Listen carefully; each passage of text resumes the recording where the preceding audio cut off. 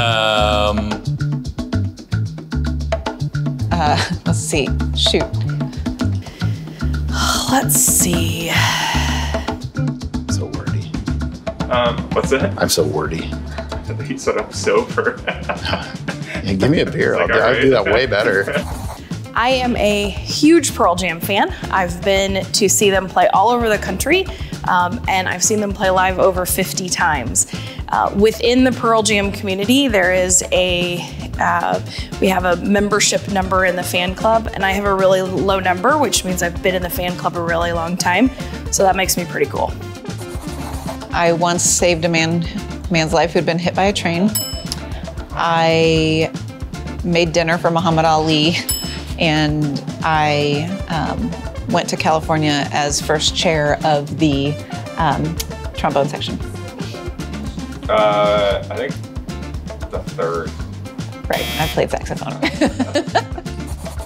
a fun trivia bit about myself is that I've got a nickname of Dirtman, and I got that because I crashed a dirt bike when I was eight years old. A fun bit of trivia about myself is I grew up in a small town in southeast Kansas. I was in 4 H and actually had a pig named Buford that I took to the fair. And all that was fine and dandy until I learned afterwards that Buford would be auctioned off for the highest price to become bacon for someone else. What's the saddest story ever? it's pretty sad. What's the train one?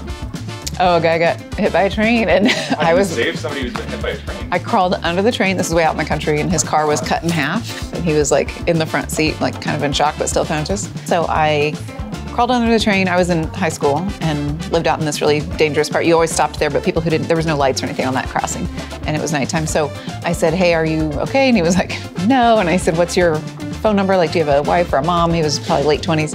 Then I called his mom and was like, tried to calm my breath and said, your son is okay, but he's been in an accident and they're coming to get him. And here's, I'll call you back when, anyway.